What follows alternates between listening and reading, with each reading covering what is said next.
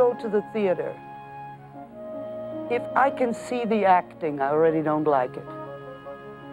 In other words, if it's the performer and his mind and his speculations and what he fixes and arranges is visible to me, it's bad acting, in my opinion. When I believe that there's a human being in action up there, in that moment, alive, right there and then, I get spellbound. Now, to achieve that is, to me, harder than playing an instrument. It's harder than fiddle, than uh, it's harder than dancing, it's harder than all the other performing arts, in my opinion. When you really achieve that understanding of human beings, that ability to place yourself into the, into the shoes of another human being and reveal that life on stage, is to me the ultimate experience.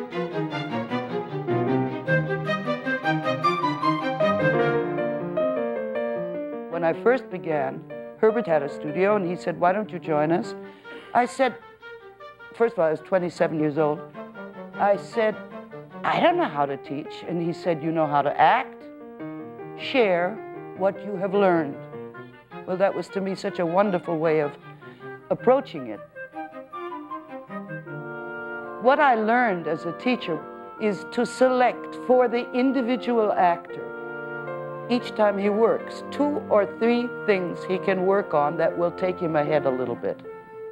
In other words, you can tell an actor everything, and they don't know where to begin. They leave in confusion, so I haven't helped them at all. So to really selectively go for what will further their individual problems and solve them for them is what's taken me a lifetime to learn.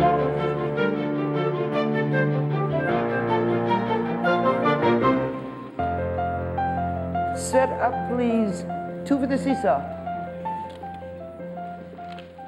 First of all, when you watch your fellow colleagues working, don't be judgmental. Don't say, oh, I like his work, or I like, don't like her work, or, you know, to your own. It, it teaches you nothing. If you really watch and identify with it, if something is convincing, ask yourself why. What are they doing that, that is allowing for that? If you don't believe it, say, that's wrong, that's what I do. How can I correct that? And so that even when you listen to me, you listen for your criticism, not just theirs. Then your participation in any, every scene will not be just as an audience, but will be an active learning one for each of us. There isn't a mistake that you make that I haven't made over and over and over again. And it is out of acknowledgement of those errors and trying to correct them that we all learn something and grow together. Look, Jerry, why don't we just sort of uh, get married and get the goddamn thing over with, huh? Bigamy? Oh, bigger you, I mean. I've got one wife now. I mean, after the divorce. I'm not just gonna be a ball and chain, you know. Now that you passed your bar exam, you know the first thing I'm gonna do? Take up shorthand. Oh, well, shorthand is the one thing this romance is lacking So when you open up your law office, there I am, a goddamn secretary. You're really gonna save dough on me. And, and, and once I make enough money out of the loft, I'm gonna, I'm gonna fix up the flat for us real nice. It's real nice. Stinks. What do you want done with this stuff, Jerry? Bills gas, phone. Leave them somewhere I can see them. I don't think I've paid those yet. What do you want to pay them for? All they can do is shut you down if you do, if you don't. Ooh, letters. Jerry dearest, don't shut me up.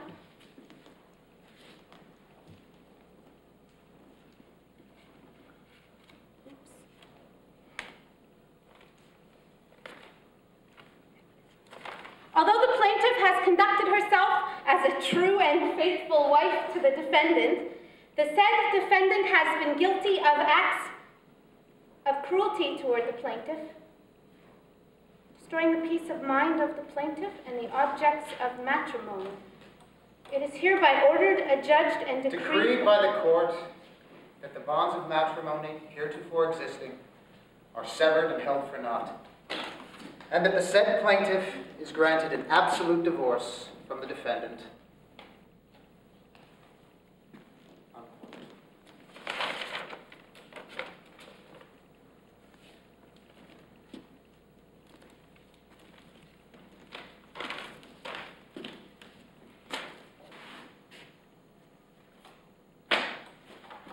didn't you tell me, Jerry? I had to live with it a little longer. You didn't want me to know? Not till I was on top of it. There was a deep hole. It takes a long time to close over.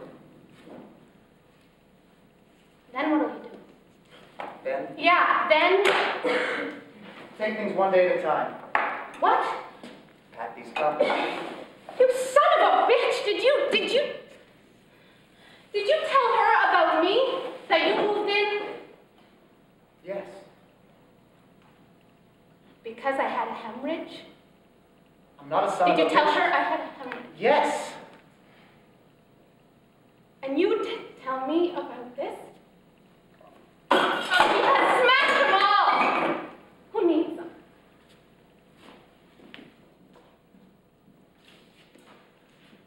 Okay, I'm going to start every uh, uh, criticism with your own evaluation of what you just did.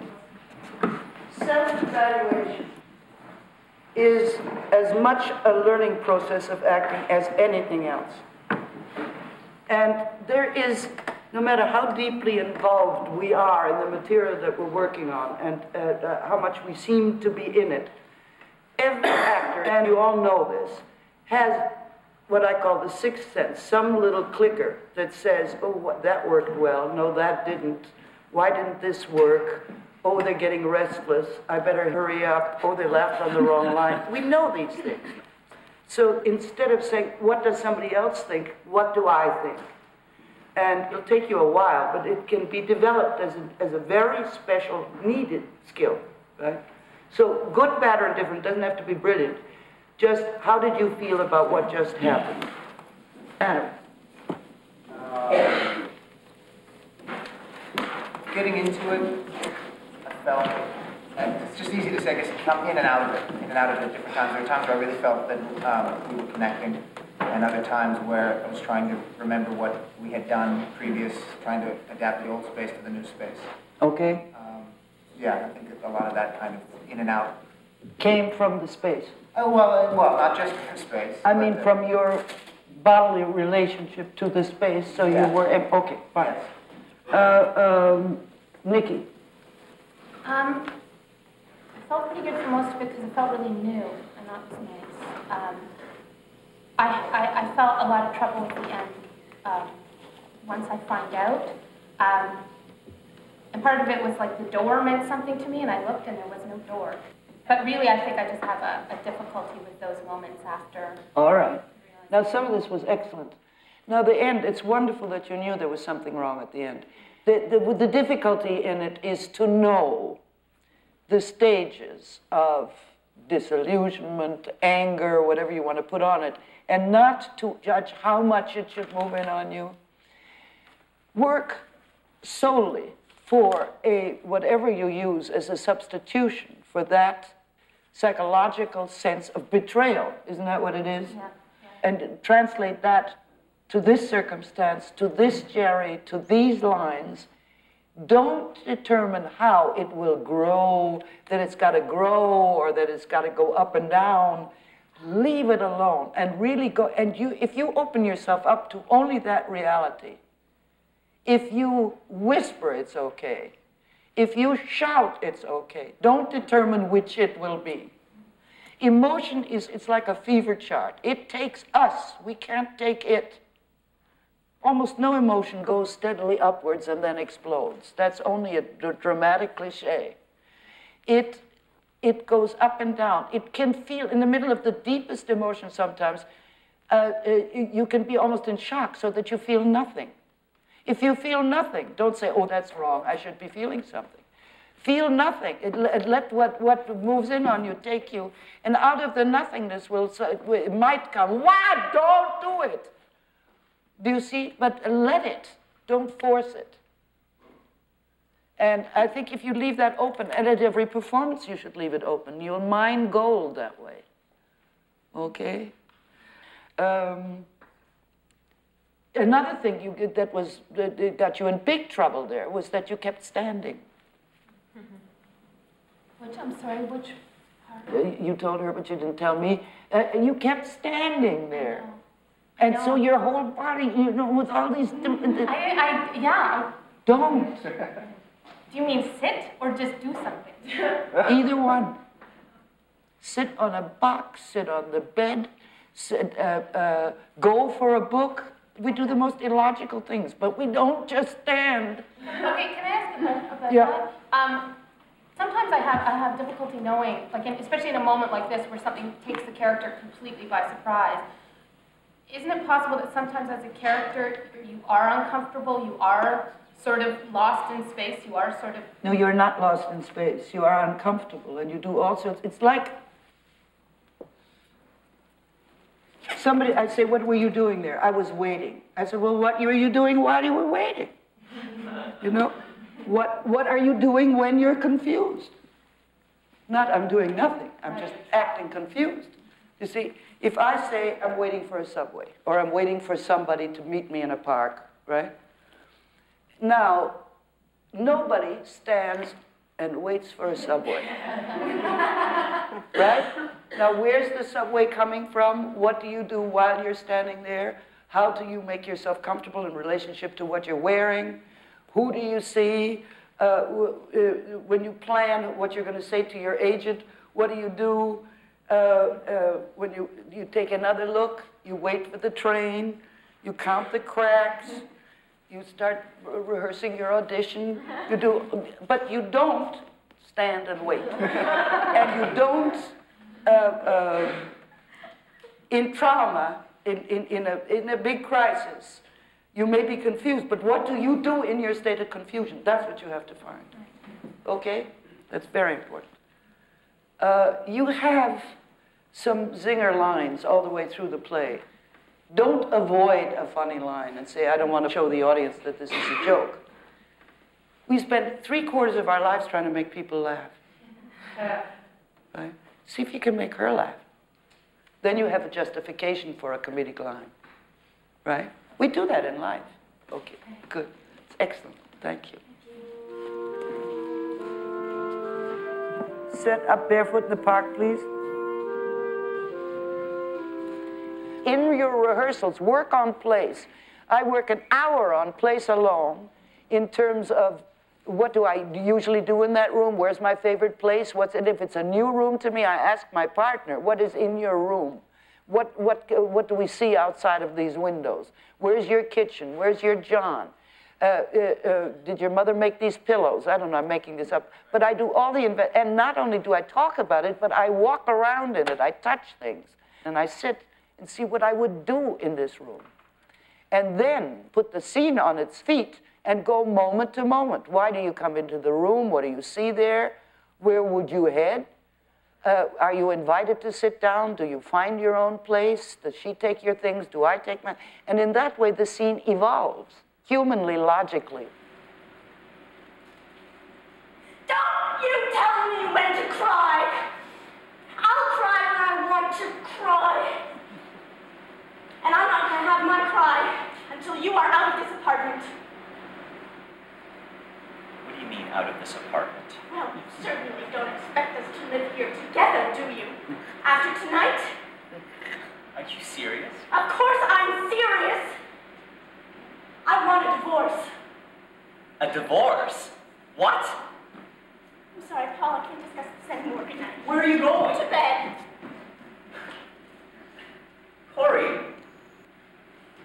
come in here?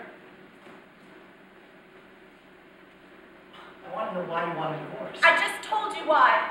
Because you and I have absolutely nothing in common.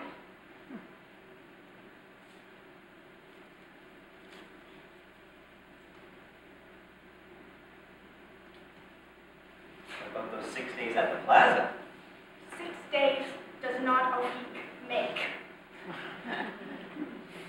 do you mean by that? I don't know what I mean. I just want a divorce.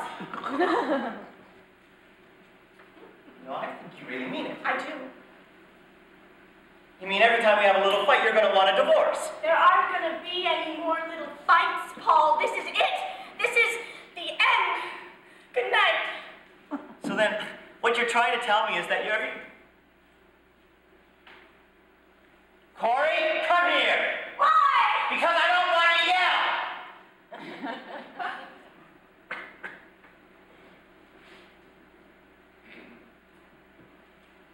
All the way. Afraid the crazy neighbors will hear us.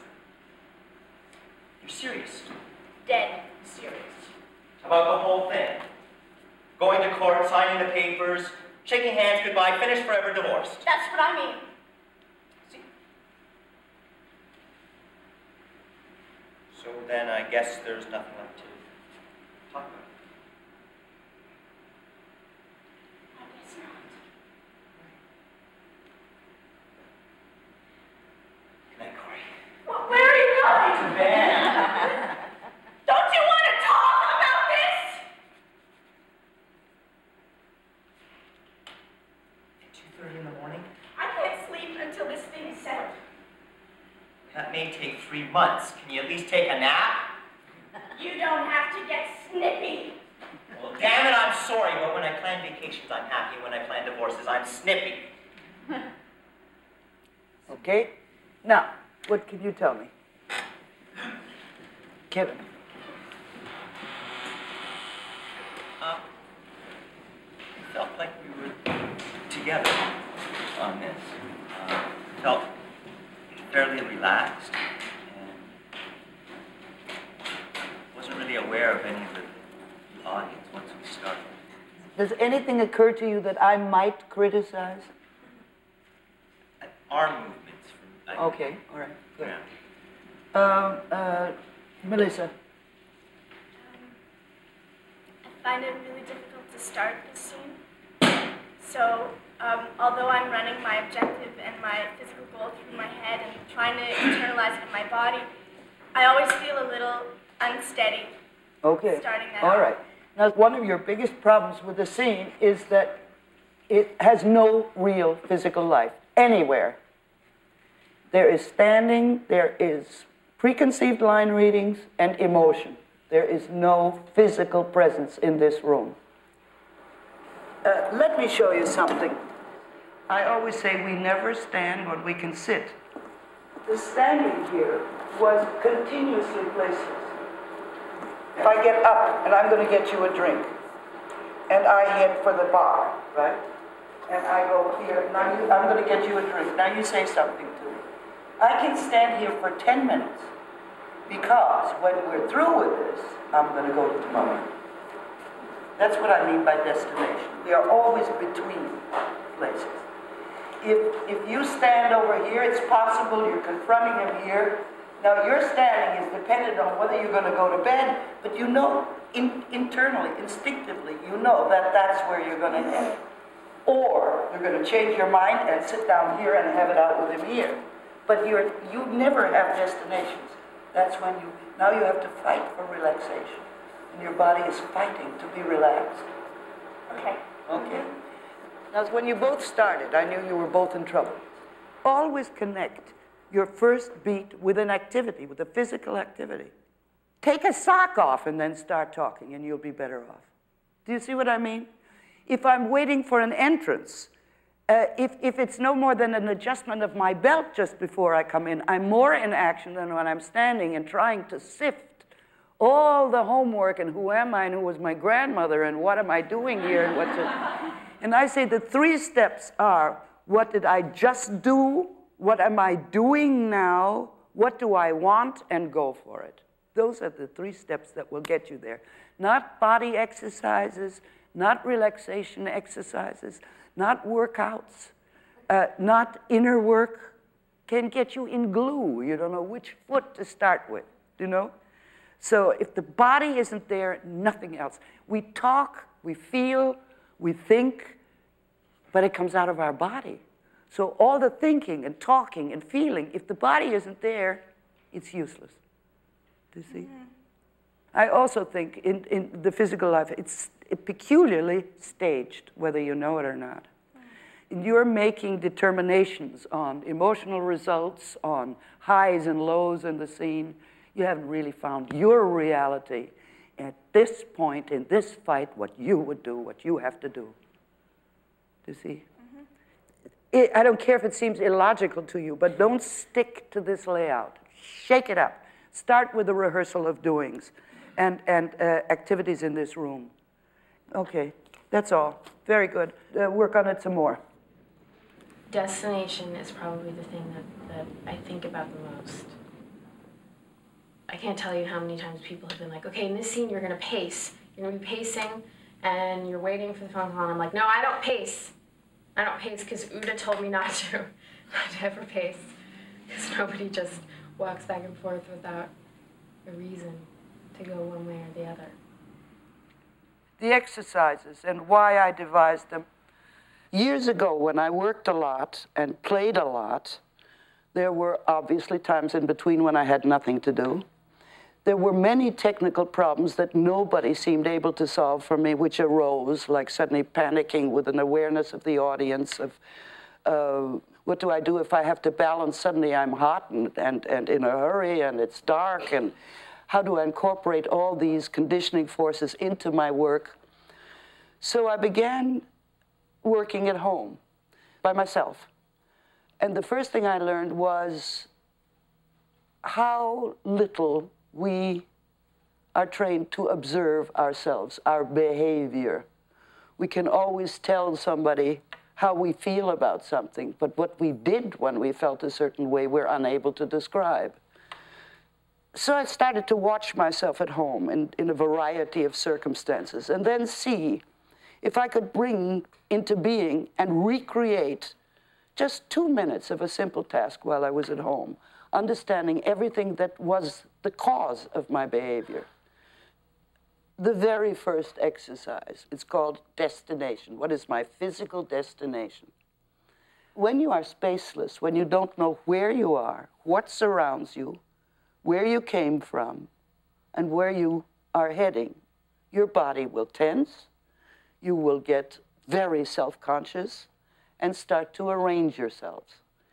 If you know where you're going, where you came from, what surrounds you, and how that influences your behavior, you get free. Then all the wonderful work, psychological work you do on character and on, on the uh, movement of the scene can take place, otherwise it can't.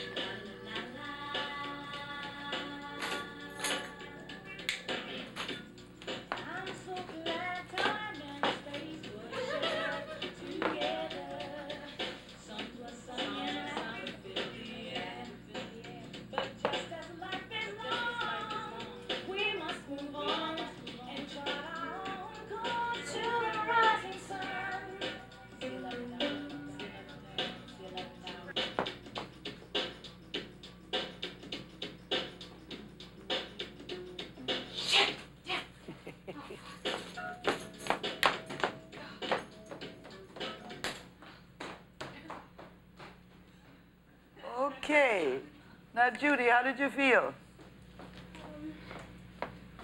I don't know. I, I, uh, I don't know, really. Yes, you do. I do? Yeah. I, uh, I felt very sure of my destination. Um, my room isn't very large and I have a lot of shoes. so I knew No, the where I was going. The place was excellent. Um, You know why the belly laugh when you fixed yourself in the mirror? Do you know why it got such a laugh? Um, I, yeah, sure. You do. Well, I mean, I guess so. We all, we all recognize ourselves. Right. That's what brings about the most spontaneous laughter, when we suddenly see ourselves doing the same thing, right? Um, I felt that the music was wonderful, but you didn't go with it as much as you would if it, the awareness that it's on, you know. The moment there is no problem, or I'm just looking, you will find that you go with it. It's a wonderful thing to discover. You did towards the end, but I felt that could have been more influential. Otherwise, why have it on, you know? You used expletives. Now, I wanted to do, in the future, when you work on, if you plan to work on these exercises at all, wherever you find that you snort, use an expletive, sigh, cuss, or talk, do it. These are not silent exercises. If, when you start to see where those things come from and how much we do talk to ourselves alone, you're a mile ahead when you get to monologues. Okay? Very good. All right. Uh, by the way, a two to three minute exercise discovered from your life and worked on should be at least an hour or two rehearsal. Okay.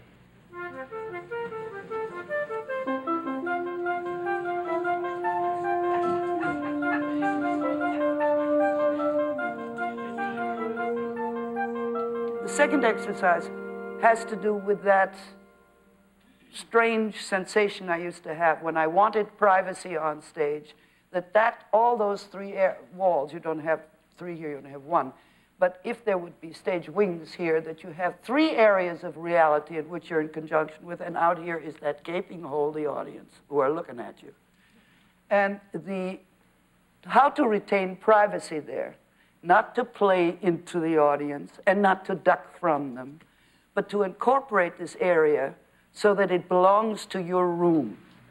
By the way, what I'm looking at has to be out of the possibility of eye contact with anybody in the audience. So wherever I anchor that spot, it has to be, let's say, uh, where that white piece of paper is, or on the other side of it near that little bright spot just above Kyle's head over there. Because every theater shape is different, where the exit signs are, where the balcony, what I'm going to use. I go into the theater way ahead of time when the uh, house is empty, and I mark it first so I'm not hunting for my fourth side while I'm playing. Poppy. Is your daughter Marjorie? what? Marjorie. Yeah. Yeah, I know. No, it took me 13 hours.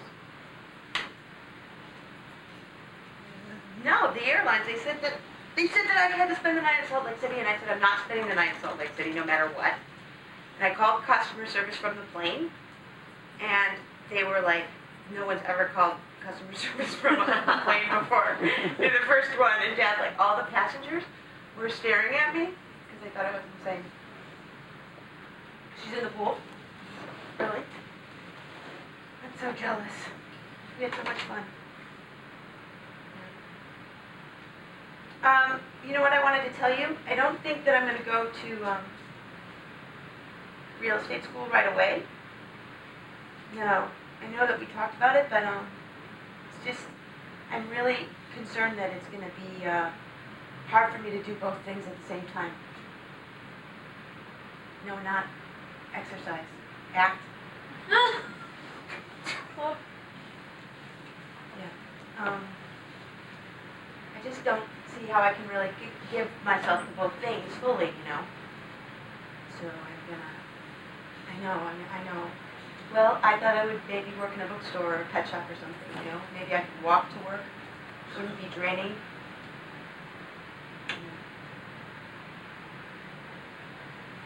Oh, they're good. They're outside, actually.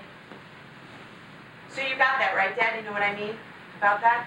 that means I'm not going to go right now. I know that you, yeah.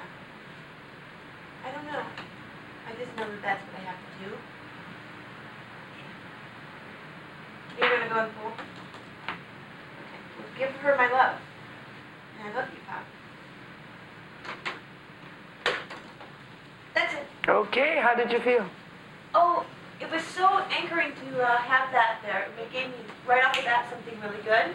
And I really forgot for quite a while, not the entire time, that there were people here. Absolutely. Isn't that a wonderful feeling?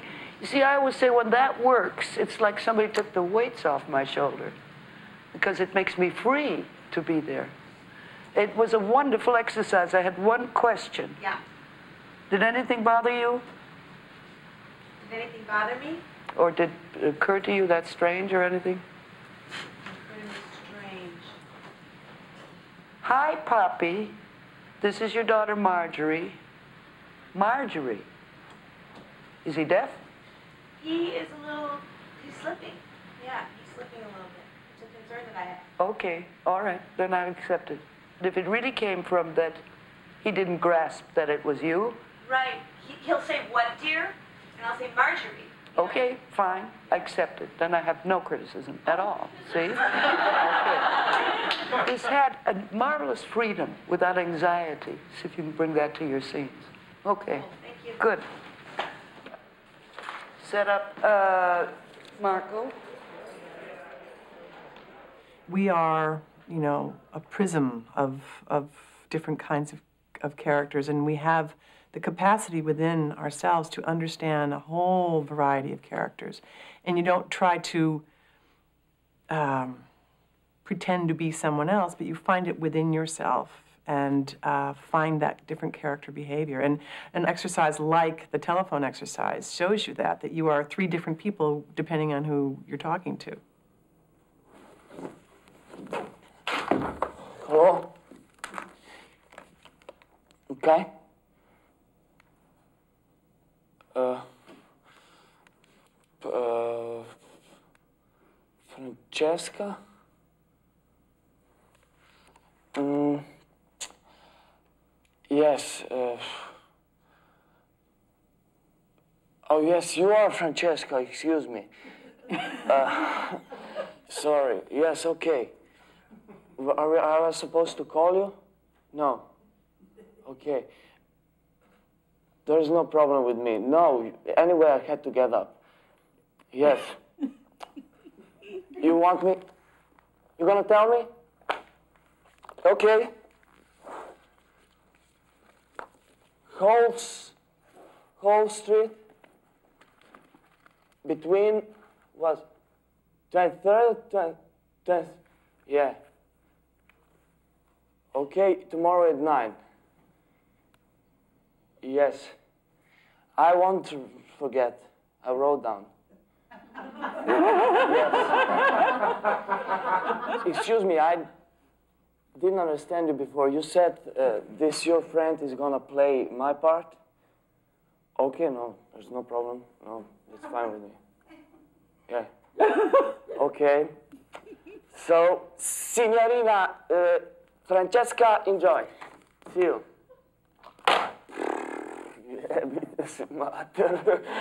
Steven.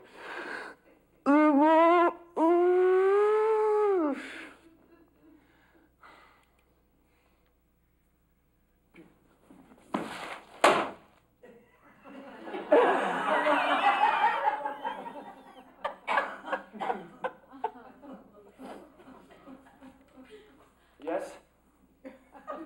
Uh, no, this is Marco Manager at the telephone. Who do you want to talk to? Wish? You, you want to talk maybe to Urosh, Uros first, or Leah Pogachnik? They're living here as well? No. Who do you want to talk to? I'm asking you, who do you want to talk to? Excuse me. I just wanted to help you. Thank you. Goodbye.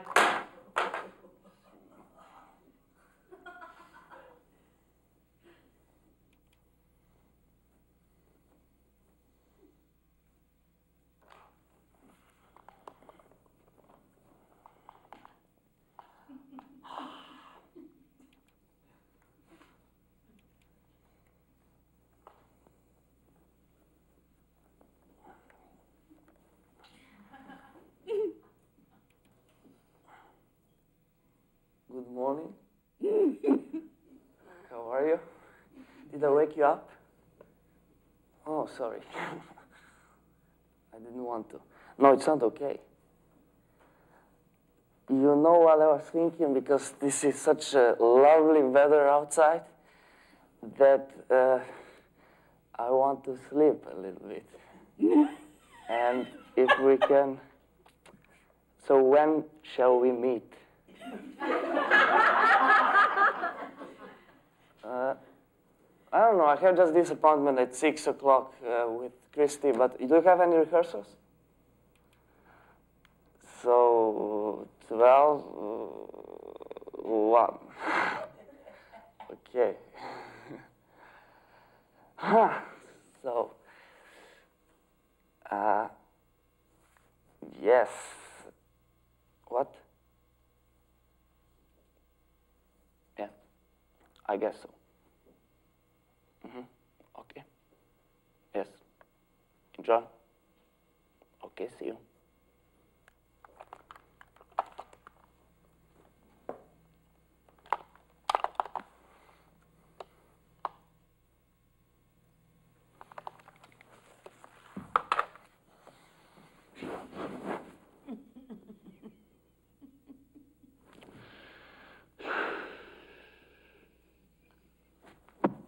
Okay. Now, how did you feel? Okay. That was very, very good. Now I have a, a number of things to With say. waking me up again, I think. The waking up, you jumped, you rushed. Yes. What was funny, you got sleepy after you were awake. you know? Yeah. But not when you woke. The three different people were wonderful. The first one, the confusion on, on who wanted who. The, um, the, last one, the girl. I mean, already how you arranged your, your whole body changed when you knew you were going to talk to her, you know? Now, again, how is that applicable to the part? Let's say the annoyance, the snottiness he developed in the second one through that person can be applied to character. I say, oh, I'm never like that. I'm never, you know, arrogant or uh, put, putting people down. Of course you are, once a day, depending on whom to whom. Now, I can use that as a character element when I am playing a, a rather arrogant, uh, uh, sarcastic, snotty young man or young lady, whatever. Now, this discovery of yourself and all the millions of things you are capable of that goes above and beyond your sense of self, which usually is more cliche than any part you could ever play. You know, I, I say, who do I think I am? I think I'm open, generous, kind, noble, giving, uh, so that we have very limited image of ourselves. And the opening up this to the point where when am I silly, when am I stupid, when am I, uh, uh, when am I arrogant, when am I uh, uh, neurotic, when am I, everything that I'm called on to play in different parts that aren't right off my center. Okay. Now, this was very successful. I have one further criticism. Since the exercises are based on building one on top of the other, I don't expect the other elements to be missing when you come to it. The first exercise, which is destination, you incorporated beautifully. You had unbelievably specific destinations just on this floor. Right? You always knew you were, where you were in relationship to what. The second exercise is a telephone conversation to one person in which you are to test how your involuntary attention goes on to objects on the fourth side, which is the audience. Did you ever use the fourth side here in this? No. When I was talking uh, in the last, I uh, like a Windows. Okay, all right. And as, uh, just as you did it, I realized you did. But it was at a minimum. Uh, now, of course, when he's on his back, his fourth side is up on the ceiling. You know, it's not going to be, I, and I can't force my attention out there. So I should use that more. Yeah. It wasn't as though you didn't have privacy or as though you were ducking this area, but you are eliminating it a little bit. Mhm. Okay? Yeah. All right. Very good, Marco. Thank you.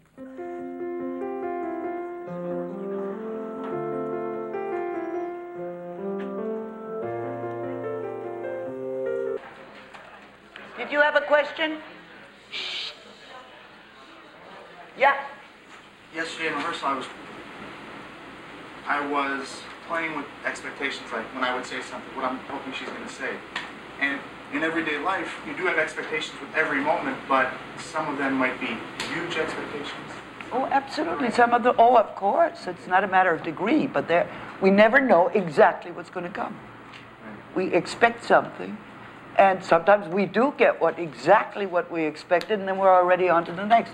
If I just say to you, uh, uh, how are you? Wonderful. Uh, I, uh, well, it wasn't quite what I expected, so it stopped me a little bit. No, but I mean, you see, if I if I say that to you, what I really want to say to you is, how long did you rehearse on this scene? And, and, it, and it's a jump in, right? Now, if I say, uh, how are you? And the actress is fine. I said, now, how long did you work on this scene? Now, if I say, how are you? And he says, I really have a terrible headache. I say, oh, oh I'm so, well, yeah, how long did you work on this scene? you understand? But the, the, uh, if I get what I expect, like I'm fine, then I'm already on to what I want to do. Uh, the next thing that I want. But uh, you'll, you'll get the hang of it. You'll start to explore that in your own lives and see how crucial that is to a true give and take. Okay. Just recently, I did just a scene um, on my show where I was um, first got the keys to my boyfriend's house, and it was like this big coup that I was able to get the keys from him. And I go to his house, and I don't know if he's home yet, and I have a present for him. So I was like walking in his house. The camera was following me, and I was calling his name. And I remember thinking all about Uta before I did the scene, and about place and about expectation, and really looking. If you're looking for something, don't just scan. Don't anticipate that. Don't anticipate. It seems like a really big thing. For this exercise, the problem that I give you is that you have lost something, has to be pretty small so that you can't. I mean, if, if you lost a, a, a big shoe and your set is such, you haven't got many places to look because you would see it. So it has to be a small object, something that is important to you, uh, that you have misplaced or lost. In the rehearsing of it, you will know you put it where you're going to find it eventually. And then it's the problem of really putting yourself into the moment with total conviction so that you don't anticipate and start to play the manner of looking for something rather than really looking. Okay. Okay. Glasses, books.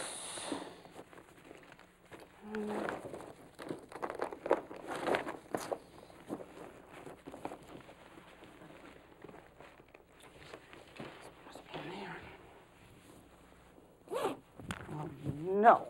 Fuck! Oh, Jesus, I hate you! I hate you! I hate you! It's not there. Um, if you were just a little fucking more organized, I would like you a lot better. My ticket, my ticket, for the fuck. Breathe. Calm down.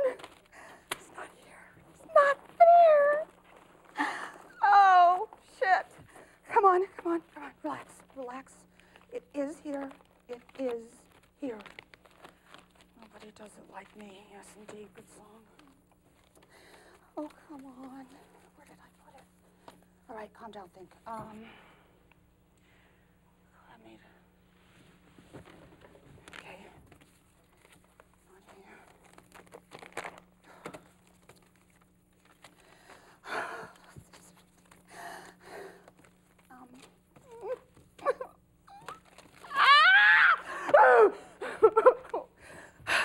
Fuck! Just a little more organized. I would it's just. God. This will not do.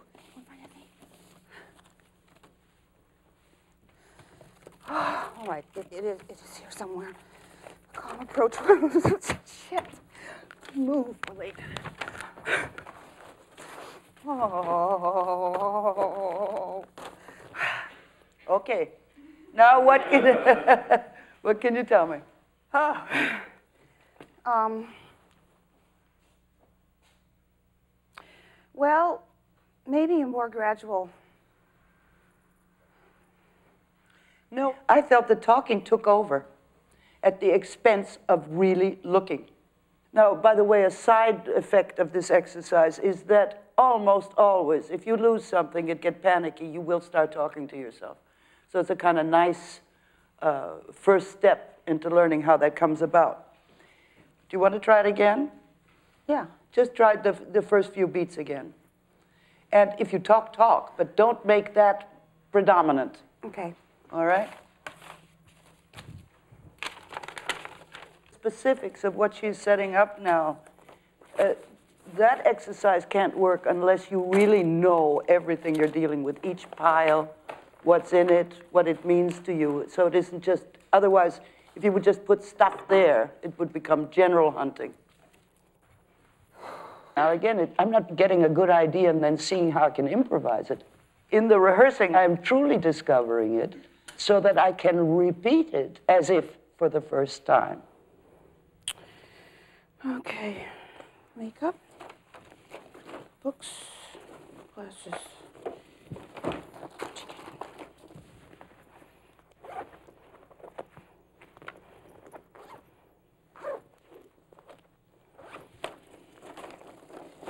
Oh, fuck.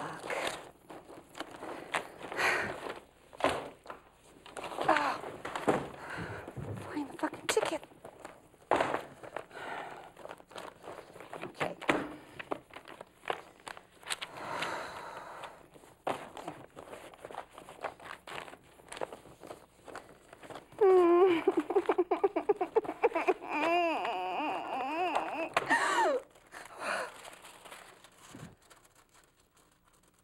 Nope, nope, nope, nope, nope. Oh dear, come on.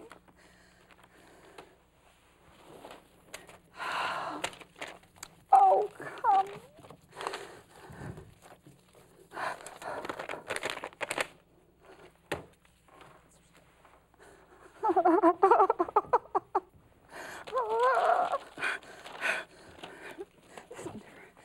Damn kid.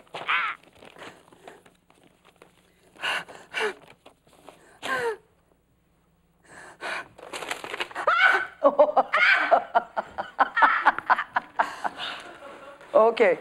Now, you see, that was much better. Didn't it feel better? Yes, it did. You see, the, the test is, it was in the first one also some of the talking came was like, oh my God, it's gone, I'm never going to find it. So, which prevents a real search.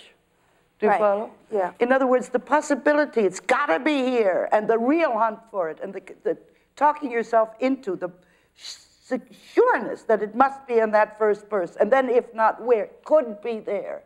Oh no, it's got to be there. In other words, the, the whole thing of expectation in acting, that we expect something, and then we very rarely get exactly what we expect is put to the ultimate test in this exercise. And you can apply, you saw her do it twice now, all the same activities.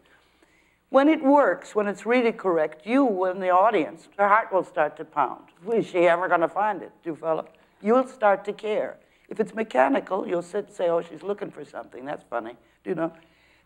The, just the second time through was much, much better. Okay. Very good.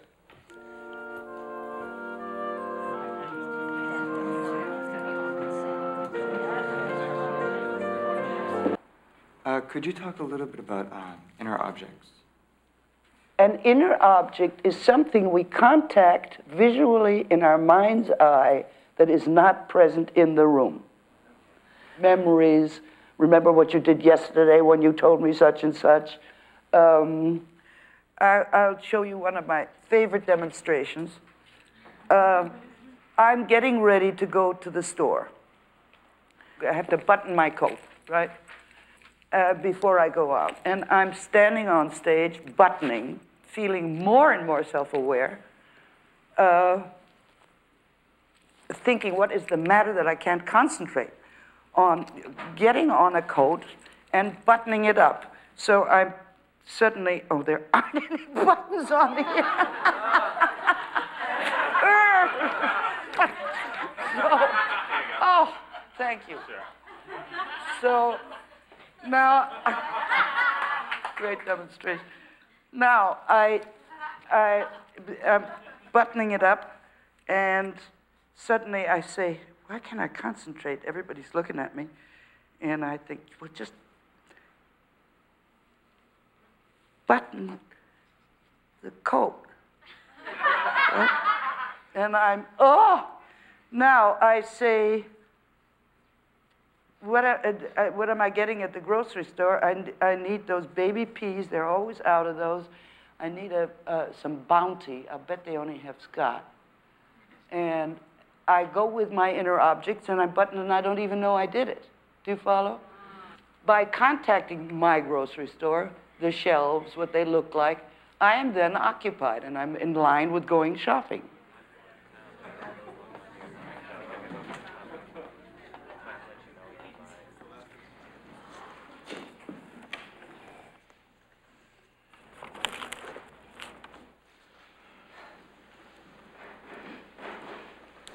Oh, for Pete's sakes, go ahead and cry.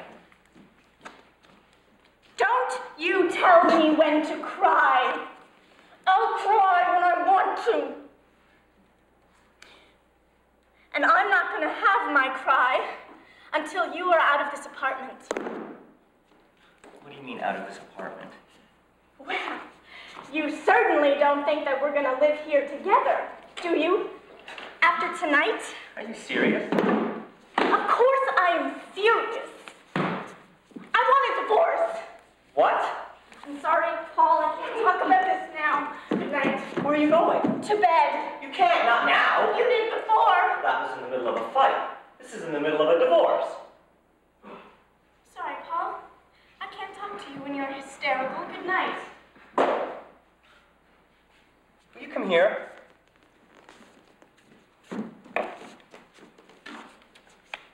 I want to know why you want a divorce. I just told you why. Because you and I have absolutely nothing in common. What about those six days at the plaza? Six days does not a week make. What does that mean? I don't know what it means. I just want a divorce. You know, I think you really mean this. I do. You mean every time we have a little fight, you're going to want a divorce? There aren't gonna be any more little fights, Paul. This is it. This is the end. Good night. So then what you're saying is, Corie, come here. Why? Because I don't want to yell.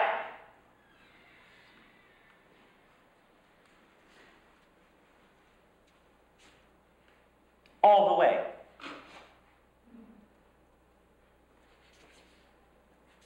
Are you afraid the crazy neighbors will hear us? You're serious. Dead serious. You mean about the whole thing? Going to court and signing the papers, shaking hands, goodbye, finished forever, divorced. That's what I mean.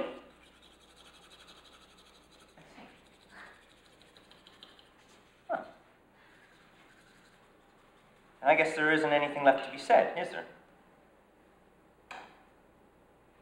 I guess not. Right. Good night, Corie. Where are you going? To bed. Don't you want to talk about this? At 2.30 in the morning? I can't sleep until it's settled. Well, that may take three months. Why don't you at least take a nap? You don't have to get snippy. Well, I'm sorry. But when I plan vacations, I'm happy, and when I plan divorces, I'm snippy. It's as much as we. Okay? Now, how did you feel today? I don't. I don't really know. Um. I um. I think I might have been pushing. A little bit. Pushing Yeah. for the results that you wanted. Yeah, to have something I didn't, and I don't even know that I knew what that was. But I felt like uh, I have to. Something's not here. I have to find it. So it's very possible that I wasn't connected, but that I was struggling to find that thing. Okay. And uh, Kevin, Um, I found that there were a couple of moments that I was just not there. And, it, and it's always the tough moments of the surprise when she says, I want a divorce. It felt, I don't, it, you see, it big. starts earlier, actually. I want you out of here. Yeah. You see, and that, that didn't land at all. Your pants were more important than what that meant. Yes. By the way, that's what I want to talk about. That some of your activities, when the activities stay pieces of business, you're using them wrong. In other words, when when uh, uh,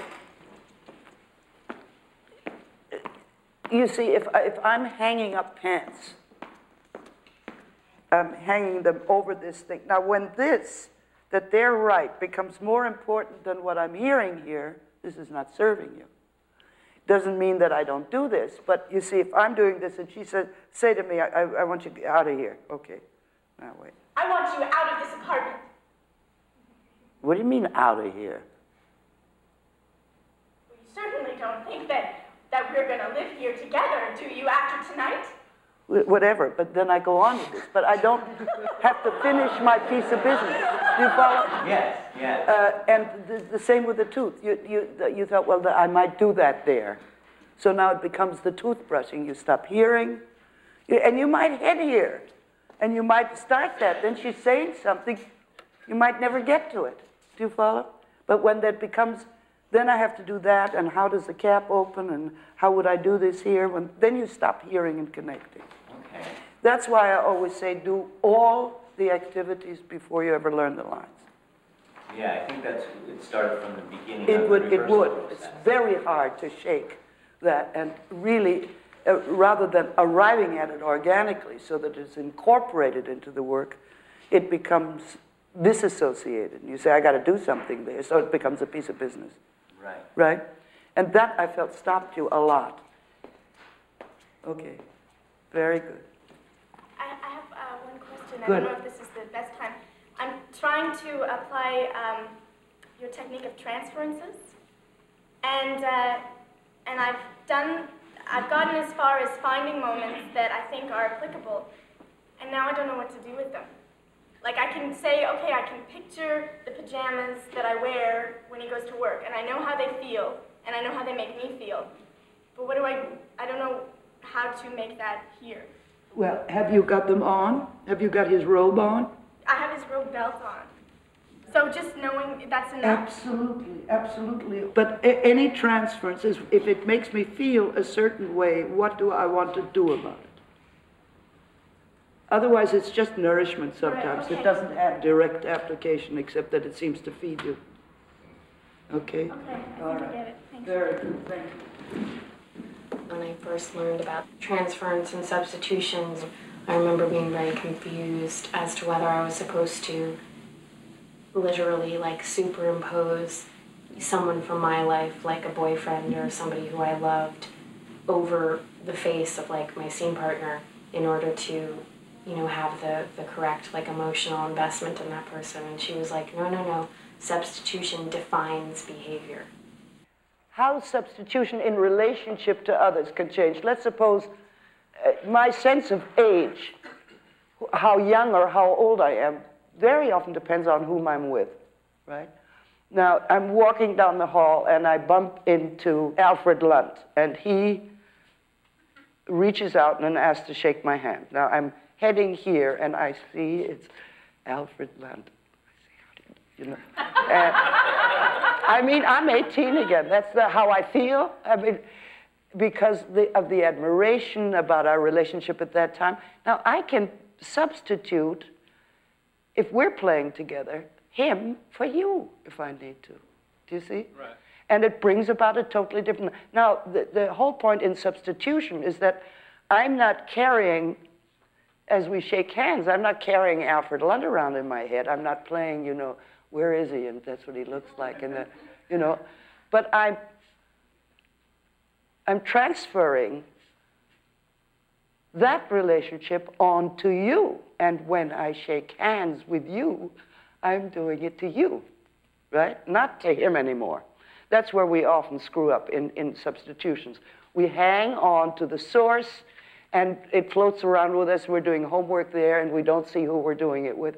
See, when it's translated into action, into behavior with the partner, our relationship immediately becomes something else. Now, if I take my snotty son in law, the same circumstances, all right? And you offer me your hand. Okay, here I go. And I go. You see, now. but I've done it, I've again done it to him, not to my son in law. You see, that's the, the step in rehearsal we often leave out.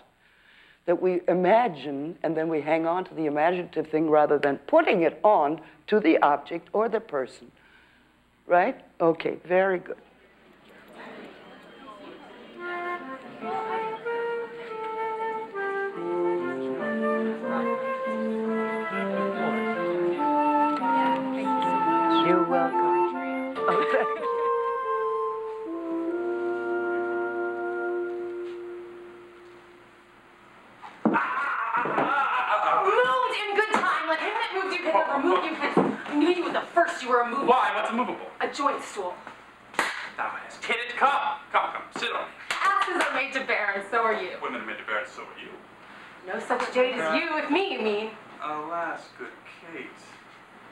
I will not burden thee, for knowing thee to be but young and light. Too light for such a swain as you to catch. And yet as heavy as my weight should be. Should be. Should buzz. Well tamed. And like a buzzard. Oh, slow-winged turtle. Shall the buzzard take thee? I, for a turtle, if he takes a buzzard. Come, come, you wasp and fate, you are too angry. If I be waspish, best beware his My brevity is then to pluck it. I, if the fool could find it where it lies. Or a wasp is where his sting in his tail. In his tongue. Whose tongue? Yours if you talk of tails, and so farewell.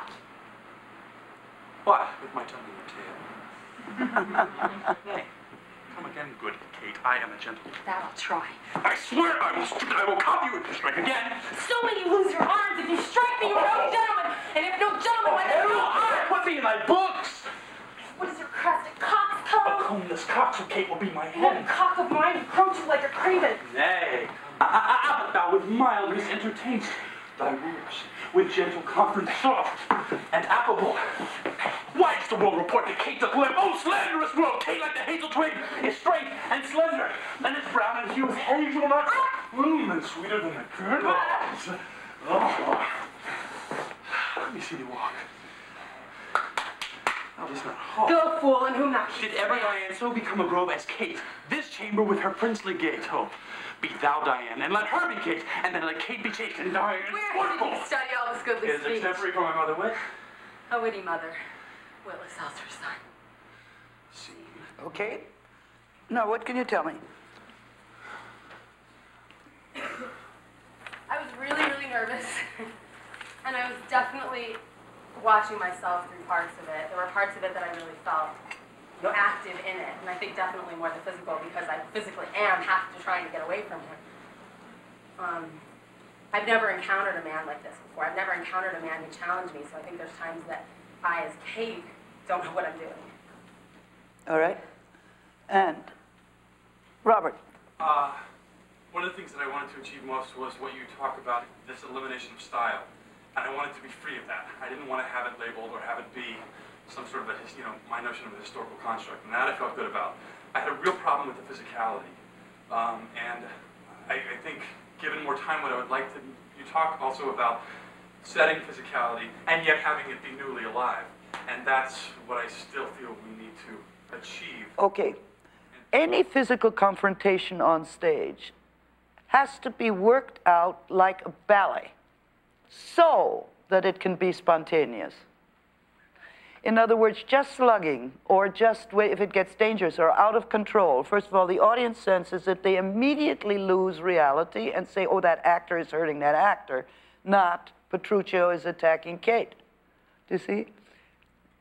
Now, the, the world that says that uh, Kate doth limp, uh, why did, I mean, she should be up by then. She should be limping. She should be trying to, do you follow?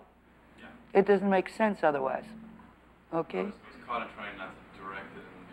No, those things you have to. In other words, th- this is an aspect of, of the, the whole chapter I have on endowment, endowing something with a reality that it doesn't have through uh, uh, physical actions. And in other words, if I have to, if I have to uh, have boiling hot coffee and burn, burn myself, I want nice, cool tea or whatever it is on stage, and then I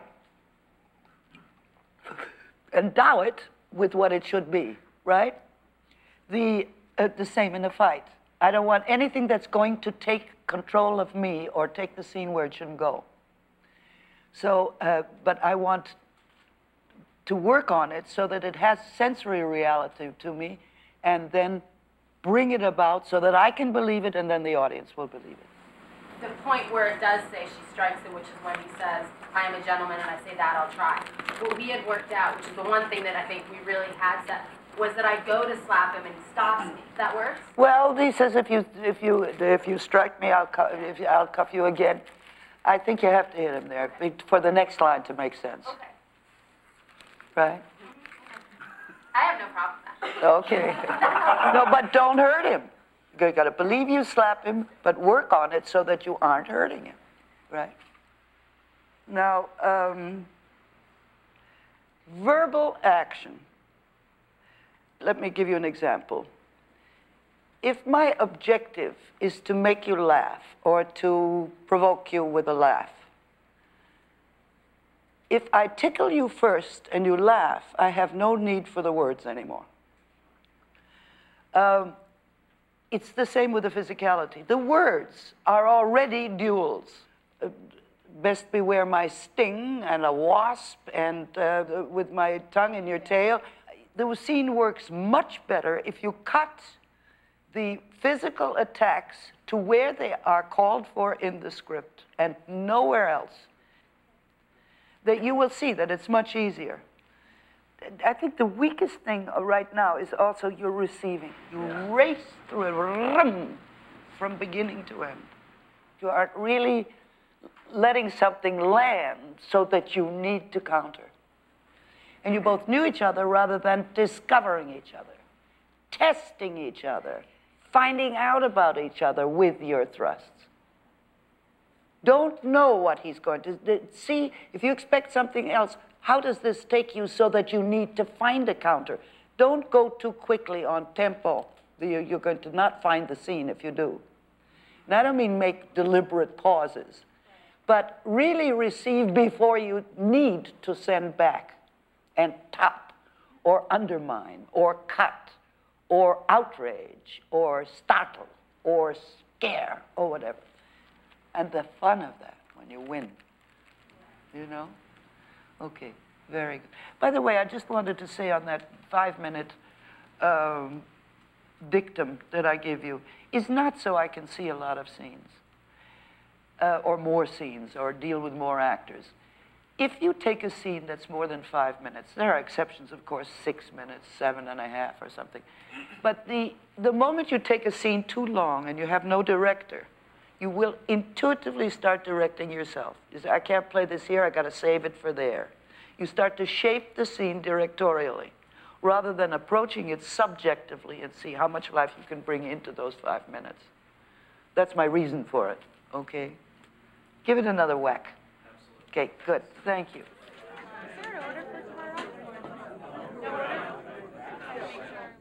The fifth exercise is called recreating physical sensations. Now, in part one, the sensory responses to visible and tangible objects that have been imaginatively endowed with properties that cannot or should not be real on stage. For instance, I don't want a real hot iron on stage. I might burn myself. Uh, I don't want real steam to come out of an iron on stage. I always tell the story about Mary Ure, who was ironing in, in Look Back in Anger on Broadway here. And when the steam came out of the iron, first of all, the entire audience said, Oh, look, real steam. That's that plugged in. And they left the, the stage. They, they had no reality anymore at all because suddenly it was real steam. Secondly, she one night the steam she got a steam burn, curtain. She was rushed to the hospital, and the performance was canceled. So, the, those dangerous realities that can control you have to be found not by the reality, but by an endowed reality.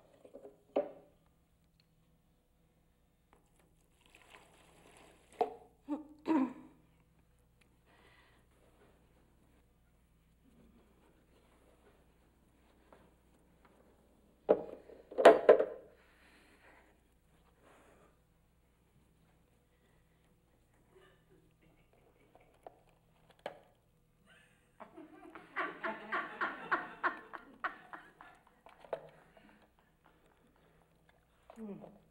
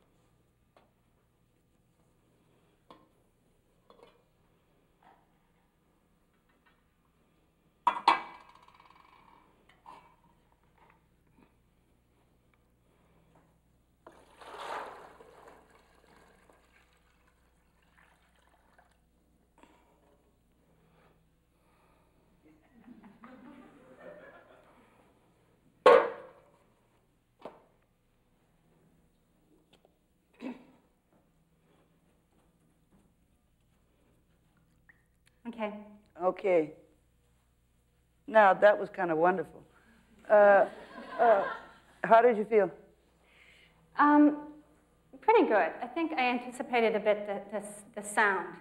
Um, That I wondered about, and what.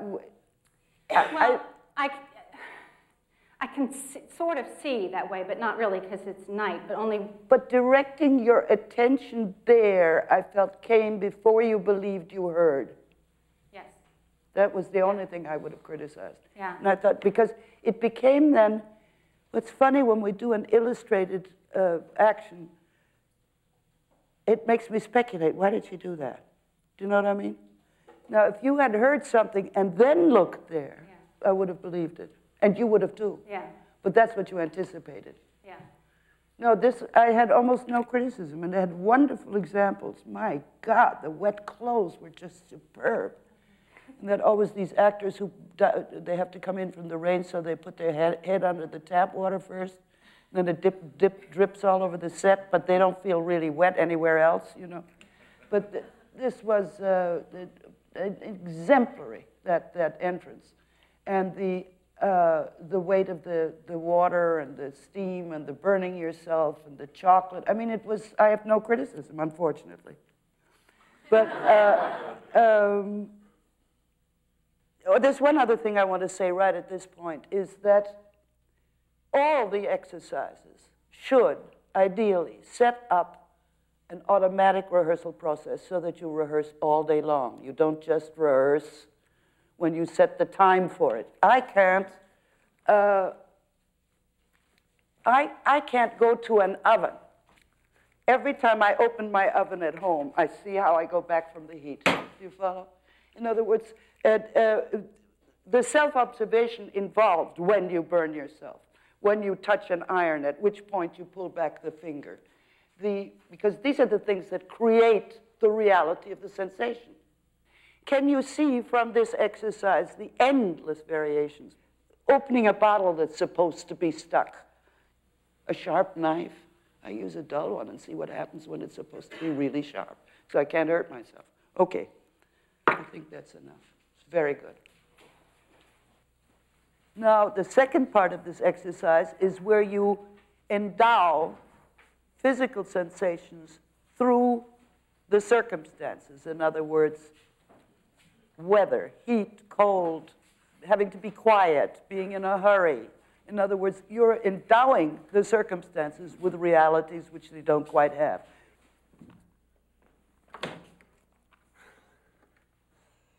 Hurry up.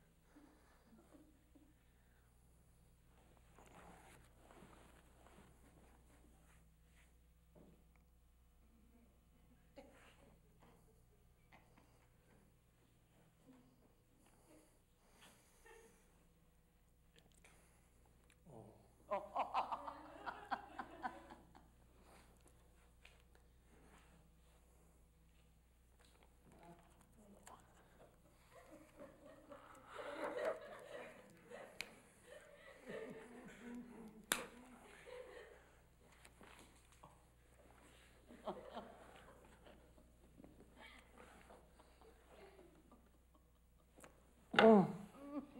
Oh.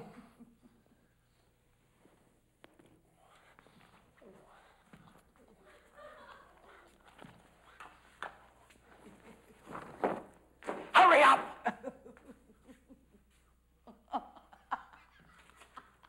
Hurry up!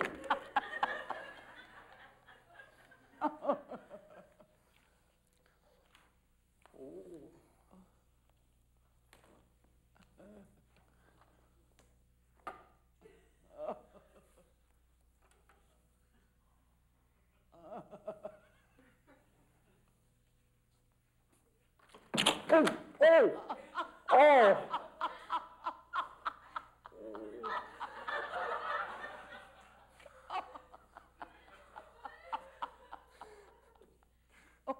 Okay. what can you tell me? Oh, I screwed up. The match wasn't supposed to light. it lit. didn't. No, And- it didn't. When you threw the thing, it went out. No, no, I, I lit the match too soon. I had Oh, more oh. business with the uh, oh, oh, match. oh, oh, oh, I see. And that, and it, it lit, and I was like, oh shit. I had to go. Well, I didn't see it, you see. So that didn't matter. You went with what happened. Anything else?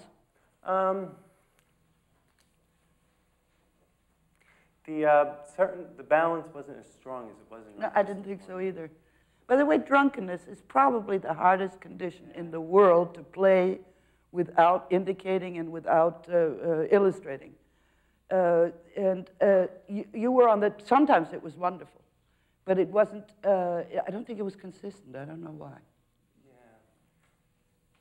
See, what I did was I tried to make it, um, I wasn't concentrating enough. My head was very heavy. I think what I should have done, now that I think of it, is put it more in my knees. I think so too. Yeah. I think, in other words, the thing is to localize one area, and each each person, if you've ever been tight or or, uh, or almost drunk at all, uh, it's the hardest one also because when we're drunk, we don't know what we're doing, so uh, it's hard to be self-observant while you're plastered. The, uh, but if you go for one area of your body that is out of control, as one of the most suggestible to me when I'm standing is my knees and to allow them, uh, in other words, to, to give in to the desire, uh, to, the- to the fact that they feel wobbly. In other words, to give in to them, but then try to control it. Do you follow? You don't want to be, in other words, what most actors do, or most uh, people who play drunks, is that they want to be out of control. You see? Now, if, if, if your knees, if you're trying to get ahead and your knees go, you want to straighten up. Then your head, then your head starts to carry you back, right? No, but you want the head to be straight. So there's continuously finding the vulnerability and overcoming it with a desire to do it correctly. Right. Right. right. And uh, it, was like there on the, the knees, it was very good. And there was one point here where it was very good, but it was variable. Right. Right. The uh, you had a degree of quiet. Right. You had uh, um, what else? The bathroom. The well, the toilet. Oh yes, okay. uh, now again, staying drunk is harder sitting. When you sit, it's usually your head that wants to go, that you try to keep straight, you know, and then the attempt for for normals. I didn't even do that on purpose, you see. Uh, and the attempt to to get and, to focus, you see, to get to the right place for this, make sure that that's your cigarette, you know, so that the the uh, the attempt is for normalcy. Okay, now it's very good. Thank you. Thank And then I always say, why do I have to work on the exercise? If I say, I'm going to work on, I'm hired to play, if I were a young man, to play the young man in uh, Bedtime Story by Sean O'Casey. And his first scene, he is, he's got a lost object. He's looking for a lipstick. It's pitch dark in the room. Uh, it is ice cold in the room. He has to be quiet because the landlady is downstairs. He has to, uh, uh, he spills it, he knocks over a lamp and he's sopping wet, and so forth and so on. There are like six conditioning forces at stake. I don't want to, at that point, learn how to stagger conditions and make them real to myself. I want to work on the character. Do you see what I mean? That's one of the glorious benefits of the object exercises, that we so Uh, uh, build such reflexes in the reality of behavior that when we come to the part, we can now concentrate on the part. Okay. She's like a force of nature, but she's not like a like a like a typhoon or anything. She's like the summer coming, you know. You start to realize that it's hot outside, so you take off your jacket. And then it's really hot, and then you gotta take off your shirt, and you hope that your undershirt is okay, you know. And then it gets really hard and you have to decide whether you're gonna get buck naked or just put a bathing suit on. And you know that if you are not prepared for her, or if you're gonna getting ready to waste her time, it's really not a good idea, you know. Now I have, what time is it? Oh, it's already 20 past. I think we should have, at this point, a question and answer period on where we are. Okay? I'll get up there and you formulate your questions. On anything that has arisen about your scenes or theory or anything you like. All right, yes. When you have a scene partner that um, wants you to do something that you feel is illogical, how do you deal with that when you don't have a director? Even when the director is there. If an actor gets illogical, go with him into the illogic, and then it suddenly doesn't fit the dialogue, and then they stop. Let's say an example that I make, which is uh, very visual, so you'll know. If the actor goes out too soon, he has to make an exit, and I have to say, uh, "Come on, why, why are you leaving?" And he's gone already. I don't say you're leaving too soon, because then he just gets mad at me and thinks I'm directing him. So I let him go. Then I don't say my line. He comes back and says, You didn't say your line. I said, You were gone. And then there's no discussion anymore. You know, another thing we were just discussing about physical violence on stage when I was in Streetcar with Tony Quinn, he knocked me black and blue. I mean, he really, and every performance I'd say, Tony, please, I put more makeup on my body than on my face because I'm bruised from head to toe. Well, I'm so sorry. I didn't mean to. I felt it. So this went on for weeks. And one day I was sitting on the desk and he has to come toward me and shake me. And I saw, saw him come towards me. The thumbs were already out. I knew which muscle they were going to land in, you know. and they, sure enough, they did. And they landed. And I went, ow, ow, oh, oh. And he stopped and he forgot all his lines and he went, oh, uh, and uh, I, funny, I got him back into the dialogue and we came off stage. He said, You're not supposed to say that there. I said, I felt it. he never hurt me again. fun. Fun. okay, yes, yes. As far as the um, fundamentals of how you, when you work on a part and score your uh, piece of it, do you um, blow it up onto a big sheet of paper and work from there, or do you write your own lines? How do you? You see, that is totally personal. It's whatever is stimulating to you. I have on some things thick workbooks, on others a few pages. I make little personal notes about substitutions and transferences that I make. For instance, Virginia Woolf, Martha, who is the daughter of the university president, very strong academic background in terms of her, her life, faculty parties and so. Well, my father was a professor. I uh, was raised in a, in a faculty uh, atmosphere, in an academic atmosphere, so that in, to substantiate those realities was so, I mean, I just made it direct. It matched. She adored her father, so did I. You know, so that much of it was done. If I go to St. Joan, I'm in a big, I got a big problem. I got a lot of work to do. Do you see? Okay. Yes. When is too much too much, or it's never too much? Like nothing is too much if it has reality. What is too much is pushing, mugging, illustrating, indicating is too much, is wrong. But a full experience, no matter how huge it can be, is not too much, in my opinion. Yes? Because we do a lot of film and television, um, we're faced with the fact that our destination is a mark on the floor. I mean, how do I take that and apply it? The mark on the floor is still either near a table, near a chair. It's not spaceless. So the principle is identical. Why do I go to that table? Then you'll hit your mark more easily, too. Okay? Why do I go over there? Right. And that's your own, your, your own, I mean, most directors don't give you justification. You've got to find your own anyway. Right, right. In, on stage, too. okay, yes.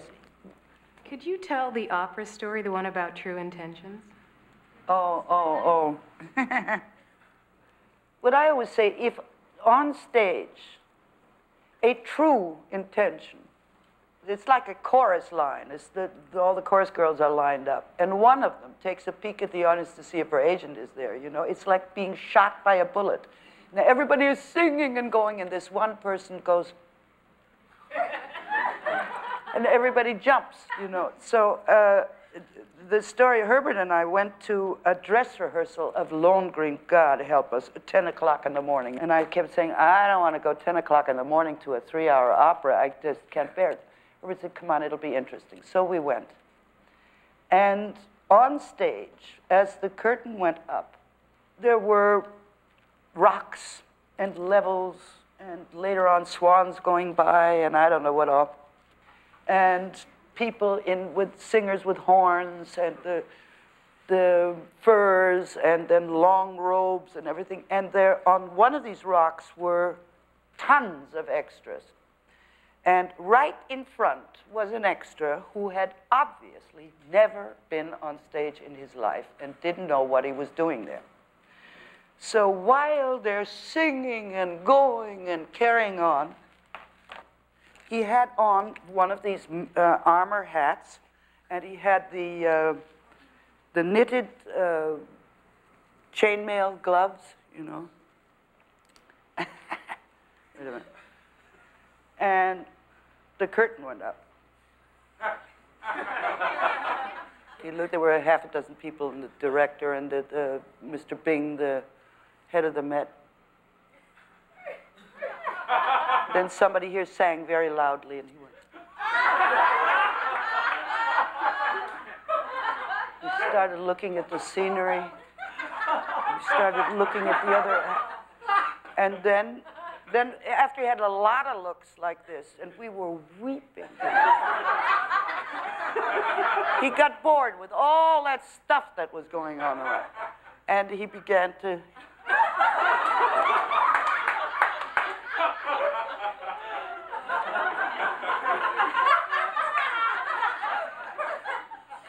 and then his hat started to bother him.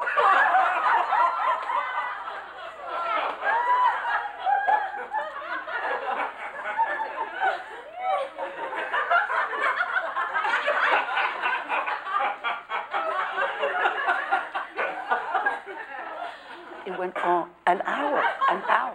And then finally the hat couldn't bear it anymore.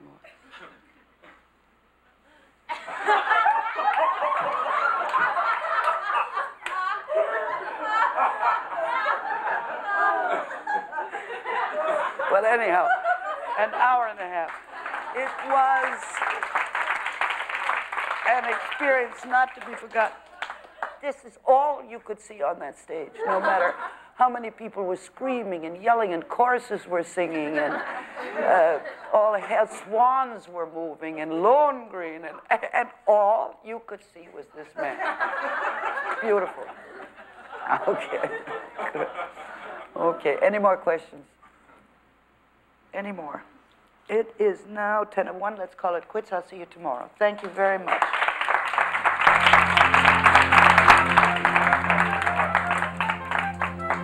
Yes, we're finished now.